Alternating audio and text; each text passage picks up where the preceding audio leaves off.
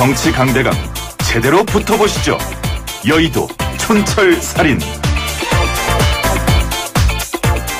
때로는 뜨겁고 때로는 시원하고 때로는 좀 불안하게 만드는 월요일의 정치 토크 여의도 춘천살인입니다. 평상시 부드럽긴 한데요.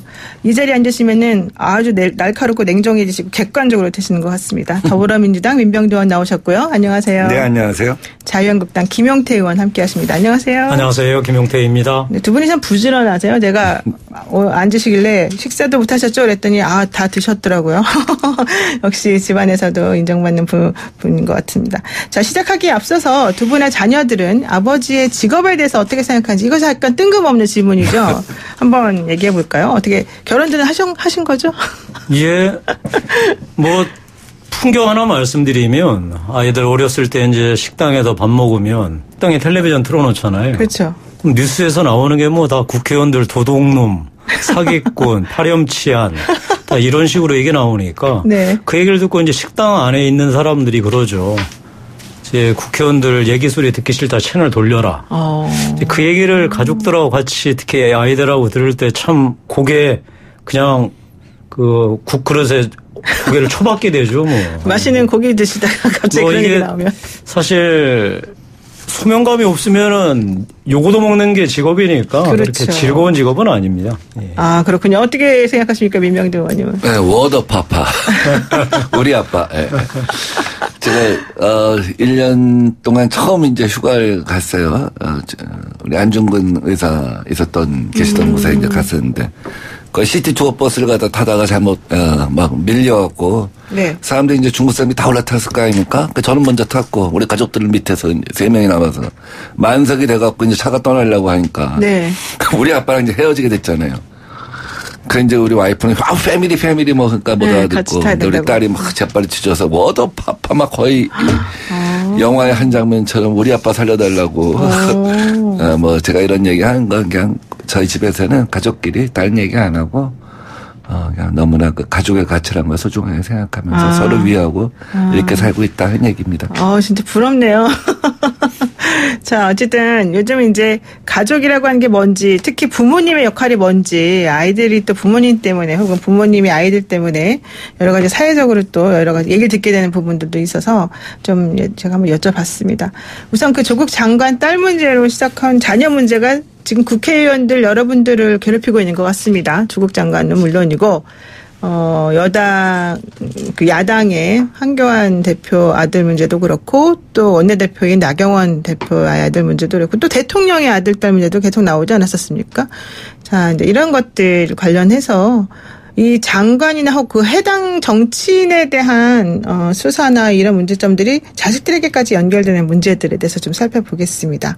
우선 정겸신 교수가 지난 20일 정도에 퇴원을 했는데 어, 검찰에서 계속해서 어, 좀 나와달라라고 했더니 불응했다. 그래서 만약에 오늘까지도 안 나오면 24일 날 그렇게 체포영장을 발부할 가능성도 있다. 뭐 이런 얘기가 나오고 있습니다.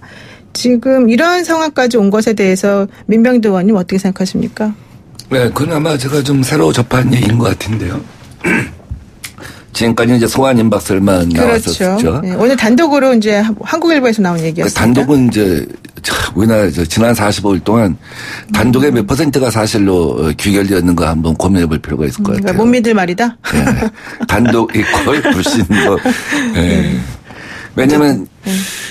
그만큼 어 우리 언론이 이렇게 뭐 진러이즘이라고 할까요? 저널리즘이 아니라 진러이즘화돼 있고 물론 정치권이 이렇게 만든 것도 있고 언론도 거기 부안해동한 것도 있고 그런 좀 자기 반성이 따라야 될 것 같아요. 그런데 우선 지난 45일을 정리해 보면 어, 두 가지 아닙니까? 그 네. 동양 동양대 그 표창장 사건 하나하고 그다음에 이제 사모펀드인데 결국 대한민국 검찰이 수백 명을 동원해 갖고 45일 동안 온 나라에 온 나라 갖다 해집고 다녀서 만든 결론이 표창장하고 사모펀드 아닙니까? 아닙니까? 증거인멸도 있어요. 증거인멸. 아 물론 이제 그거는 네. 뭐 혐의만 있는 것이지 이제 증거인멸은 파생되는 거 아니에요? 네. 아직 딱 떨어지게 얘기한 거 아니지 않습니까? 네. 근데 생각해 보세요. 우리가 자 그 공적 어, 공적 조회, 공적 심사가 없는 상이라고 하는 건 아예 뭐 대학교나 일반 기관에서 인정을 안 해요. 음. 그렇잖아요. 국회의원상 공적 심사 없잖아요. 공적 조회 없잖아요. 네. 그런 상은 상으로서 인정하지 않는 거예요. 음. 상으로서 인정받을 수 없는 상을 갖고 온 나라 갖다 뒤집고 그, 그것도 지금 타임머신을 탔냐 말았냐 하고 있죠. 어, 사모펀드도 마찬가지죠. 이것이 무슨 뭐 개인적으로 사기를 당한 거냐, 뭐 아니면 지금 또 뭐 횡령까지 얘기 나오는데 사실은 채권 채무의 변제 얘기로 이제 귀결되고 있지 않습니까? 네. 결국 딱 떨어지는 어떤 결론을 내리지 못한 상태에서 지금 결국 예, 온 나라 갖다 해집는 압수수색과 단독 어떤 그 범람과 이러한 또 가장 검찰이 보여줄 수 있는 가장 나쁜 민낯을 보여준 결과인데 어쨌든 빨리 귀결돼서 뭐 해명되고 서명되길 기대합니다. 일단 뭐 소환에 불응했다는 말은 확인이 필요하다. 그리고 지금 나와 있는 여러 가지 의혹들은 정확하지 않으니까 조사를 받아서 확인해봐야 될 것 같다 이런 말씀이신데 김영태 의원님 어떠세요? 소환해야죠. 뭐 소환해서 음. 정상적으로 그 처리하면 되지 않겠습니까? 제가 소환에 불응했는지 검찰이 소환을 여러 차례 했는데도 안 나왔는지 뭐 잘 모르니까요. 네네. 근데 수사 절차상 이제 소환 안 할 수가 없잖아요. 소환해서 문제되면 당연히 사법 처리해야 될 거고 소환했을 때 공개할 거냐 말 거냐 저는 검찰이 현명하게 잘 판단이라고 생각합니다. 국민들이 이렇게 관심 갖고 있는데 이것을 뭐 숨기듯이 하지는 않을 것 같고 다음에 조국 장관도 만약에 현재 혐의들이 어 적극적으로 피의자로 전환해야 되는 상황으로 검찰이 판단한다면 당연히 조국 장관도 절차에 따라서 조사해야 되겠죠. 저는 이 사건 뭐 여러 가지 아직 확인이 안 됐다 이런 말씀 하시는데 검찰 수사 지켜보면 될 것 같고요. 근데 하도 많으니까 이게 다들 좀 까먹으시는 것 같아서 이 사건 줄기는 크게 네 가지 아니겠습니까? 하나는 웅동학원. 네. 웅동학원 지금 끝난 거 아니고요. 네. 웅동학원도 뭐 몇 차례 지금 압수수색도 했고 거기에서 어떤 일들이 벌어질지 이제 한번 지켜보십시다. 검찰 수다 보면서. 네. 자, 표창장도 동양대만 있는 게 아니고 키스트도 있고 서울대도 있고 여러 군데 있으니까 자, 그것도 이제 검찰 압수 검찰 수사 지켜보면 될 것 같고 네. 표창장이 무슨 뭐 단순하게 공적조사나 이런 말이 아니라 그것을 위조했다면 위조한 곳이 만약에 국가기관이나 이런 데라면 문제가 되겠죠. 그다음에 그 사용처 자체가 또 국가기관에 대해서 사용을 했다면 뭐 또 다른 문제죠. 뭐 그런 게 거기에 바로 뭐 사문서 위 사문서 위조 행, 참 위조 사문서 행사나 네. 뭐 업무방해 이런 얘기들이 나오는 거 아니겠어요. 다음에 이 사모펀드 관련해서도 뭐 여러 가지 얘기들이 나오는데 네. 우리 국민들 사모펀드 얘기하시면 채널 돌립니다. 그래서 제가 굳이 얘기하지 않을게요. 여기에서도 사모펀드 얘기 이제 검찰이 다 수사하고 있으니까 밝혀지지 않겠습니까? 검찰도 채널 돌린 거 아니에요? 다음에 이제 마지막으로 네. 이거는 정말로 꼬리가 몸통을 흔드는 격인데 네. 이제 증거인멸 문제죠. 그러니까 예전에 SNS에서 어떤 말을 했다가 행동하고 달라서 윤리적 문제, 도덕적 문제가 그 불거진 게 아니라 이 장관 임명을 둘러싸고서 검찰이 수사를 하고 네티즌들이 다음에 언론에서 문제 제기를 하니까 이거를 구체적으로 임명을 인멸하려고 하는.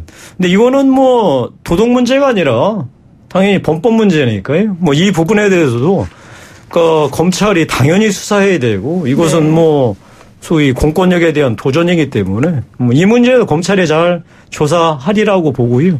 우리는 이제 음. 이제 지켜보는 일만 남을 남은 것 같습니다. 저희가 뭐 확인되지 않은 거로 말가불과 해봤자 네. 이제 국민들 오히려 피곤하시면 하시고 저는 뭐 이 대단원이 많이 멀리 있다고 생각하지는 않습니다. 이제 대단원은 우리 음. 국민들께서 네. 검찰이 기소하는 거를 통해서 지켜보면 될 것 같습니다. 네, 지금 그 정경심 교수에 대해서 얘기되고 있는 혐의 사실 제가 좀 정리를 해봤더니 뭐 정확히 다른 언론에서는 어떻게 하는지 모르겠습니다. 제가 그냥 기준으로는 사문서 위조, 위조사문서 동행사죄, 공무집행 방해, 업무집행 방해, 자본시장법 위반, 공직자윤리법 위반, 또 증거인멸, 업무상 횡령, 특경가법 업무상 횡령, 뭐 증거인멸 교사 이제 이런 것들이 상당히 많아요 생각보다.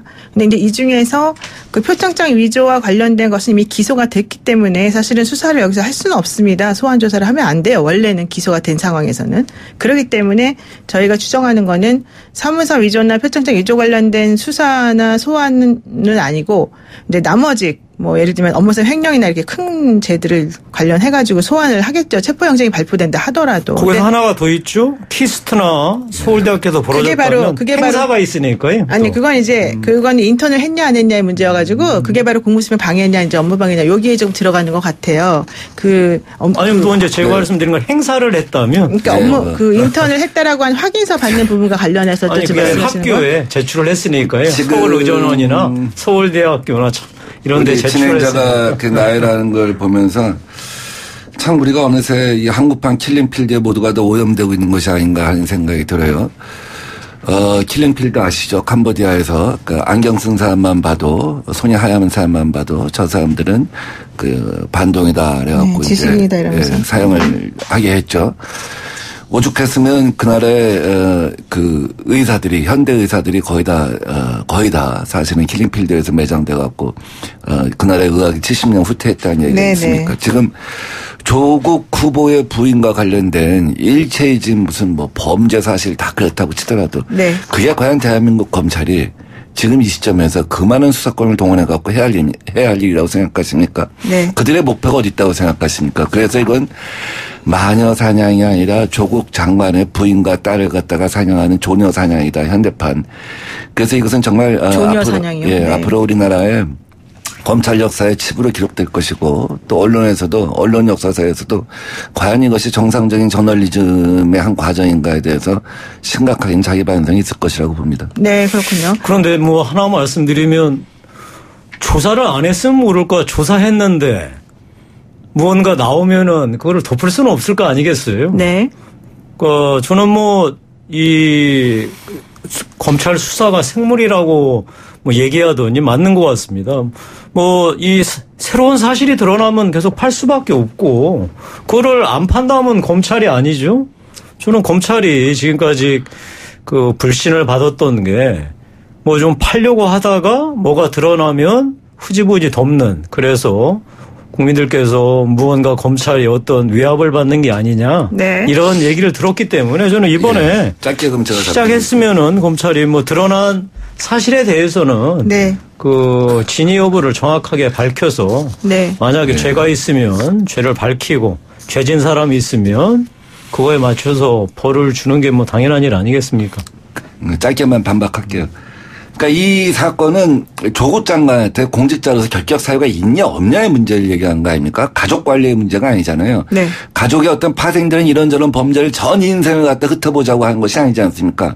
근데 지금 45일 동안 본직과 관련해서는 단 한 건의 제대로 된 수사 의혹도 제기하지 못하고 있다는 것이죠. 이것 때문에 사실은 어떻게 보면 검찰 개혁의 필요성에 대해서 더 많은 국민들이 공감하게 되는 어떤 그 역작용이 있다 하는 것을 제가 지적하고 싶습니다. 그런데 뭐 제가 또 이것을 제가 또 한 말씀 안 드릴 수 없네요.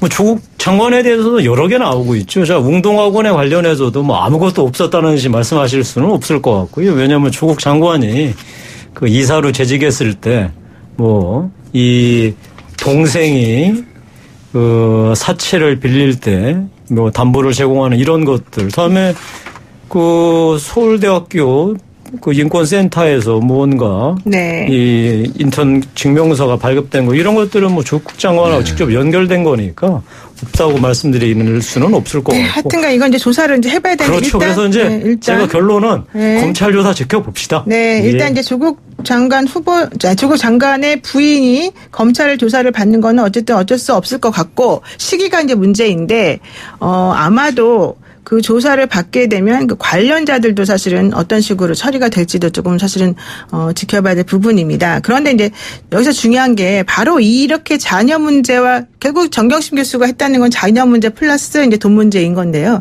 그 자녀 문제와 관련해서 나경원 한국당 원내대표가 얘기한 게 여당이 조국 장관 감싸다 물타기 한다. 문재인 대통령 딸아들, 조 장관 딸아들, 황교안 당대표 딸아들, 그리고 본인의 딸아들 모두 특검하자 이런 제안까지 했습니다. 물론 현실성이 얼마나 있을까 잘 모르겠습니다만 이런 특검 제안이 도대체 무슨 의미를 가지는 건지 우선 민병주 의원님 어떻게 생각하십니까? 체급 올리기라고 할 수 있죠. 체급 올리기. 네. 아, 대통령과 같은 체급으로. 보통 물타기라고 하는데 물타기는 아닌 것 같고요. 네. 그 어차피 이제 수용하지 않을 건 아는 것이죠. 왜냐하면 사건의 성격과 비중이 다르잖아요. 대통령의 아들, 딸 갖고 문제를 삼는다 하는 거는 결국 뭐 대통령 전체 주변을 파헤치겠다고 하는 것이고 언론 보도의 비중이 다를 것이고 어 그렇기 때문에 당연히 청와대에서는 수용하기 힘들 것이다 하는 것이죠. 뭐 대통령의 아들이라고 하는 것 그 자체가 특혜라면 특혜일 수 있지만은 대통령과 관련된 어떤 대통령의 아들이 하는 일상의 삶 모든 걸 갖고 의혹이라고 한다면 그건 과한 거 아니겠습니까? 이제 정말 그런 정치에서는 우리가 아 이제 정리할 때가 되어 있다라고 생각합니다. 이거는 뭐 기본적으로 나경원 대표가 끊임없이 어떤 그 자기 자신의 체급을 갖다 올리면서 이제 네. 어떤 자기 역으로 방어하려고 하는 뭐 그런 거에 불과하다라고 생각합니다. 나경원 대표에서 홍준표 대표나 다른 분들이 지적했듯이 아들이 네. 아들이 미국 국적이 있냐 없냐 병역 의무를 어떻게 할 거냐 아니 아니냐 그다음에 Korean American society 어떻게 들어가야 되냐 이런 것만 해명하면 되는 겁니다. 음 그렇군요. 어떻게 보십니까 김태 원님? 뭐 일단 조국 그 사태 마무리 짓고 하시죠. 뭐 이게 물타기다 이런 얘기들 자꾸만 나오는 얘기가 이 조국 사태가 정점으로 치달으니까 뭐 이런저런 얘기가 나오는 것 같은데 일단 차분하게 우리 검찰 수사 결과 다 보고 나서 그리고 나서 얘기해도 늦지 않을 것 같고요. 음, 음. 저는 뭐 나경원 원내대표 아들 문제 본인이 저렇게 그 저야 뭐 제가 사실관계를 알겠어요. 잘 모르죠.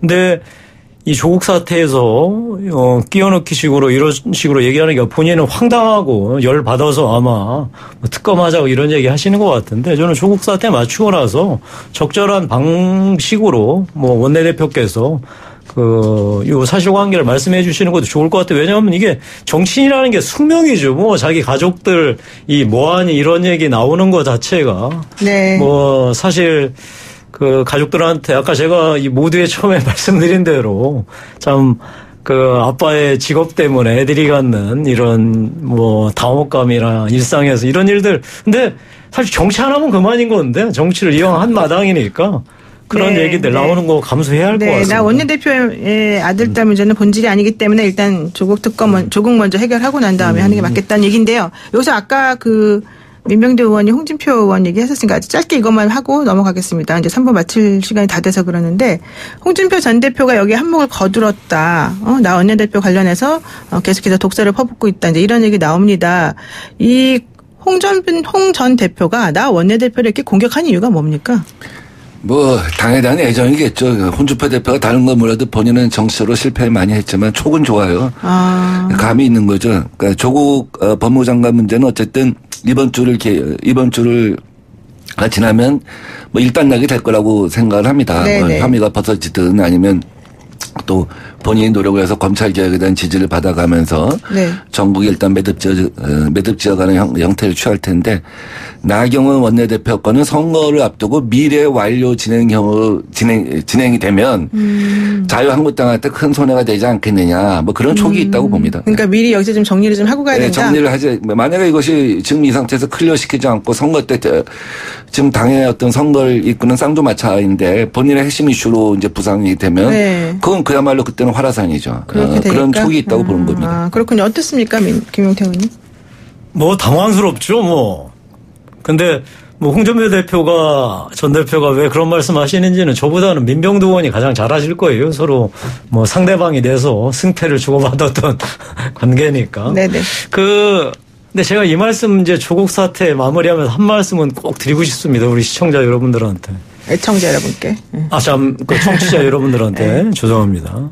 자, 이제 보니까. 이 조국 네. 장관이 임명됨으로써 앞으로 이제 국회 인사청문회는 완전히 그 존재 의미를 상실했습니다. 음. 지금 얘기가 뭐 가족 이런 거 다 떠나서 본인이 구체적으로 범법을 했느냐 안 했느냐만 남는 상황이라면 네. 앞으로 인사청문회가 무슨 의미가 있겠습니까? 사실 음. 인사청문회는 음. 본인뿐만 아니라 주변에 이 도덕적 문제를 파헤쳐서 이 정말 공직자로서 그 공직을 제대로 수행할 수 있느냐를 따지는 게 이때까지 청문회였는데 네. 사실 이런 게 이제 완전히 무의미화가 돼서 앞으로 사실 국회에서 인사청문회 왜 해야 되나 이런 생각도 듭니다. 네. 조국 사태가 남긴 가장 큰 뼈아픈 결과인 네. 것 같습니다. 자녀 문제를 번지는 정치인들의 정치권 상황 어, 결국 여기서 조금 마무리를 하고요. 두 분과 함께 4부로 돌아와서 다시 새로운 주제로 다시 얘기하겠습니다.